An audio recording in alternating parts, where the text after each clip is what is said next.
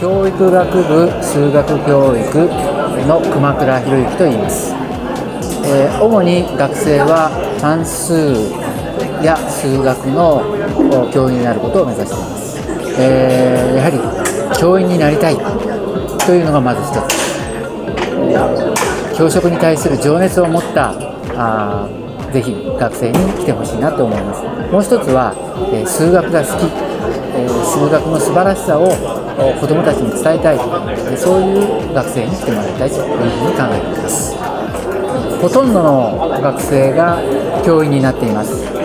その内訳については小学校の教員と中学校の教員で9割ぐらい。残り1割ぐらいが高校の教員になっています。数学の先生になるには理学部の数学に行くという選択肢ももちろんあると思います。理学部の場合には本来の理学部の単位以外に教員の免許を取るためのオプションとして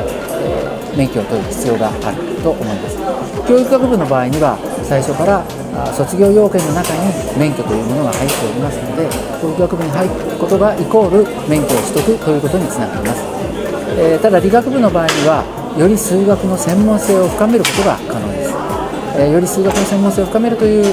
ということを希望する場合には理学部というに入るという選択肢もあると思いますし